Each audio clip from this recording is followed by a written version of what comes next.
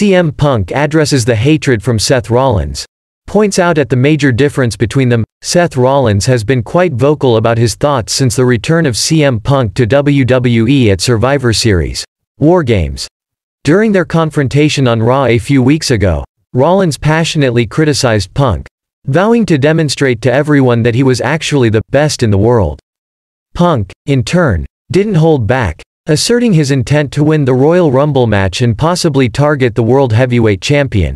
In a recent guest appearance on NHL's The Jackie Redmond Show, CM Punk was questioned about the Visionary's apparent animosity towards him.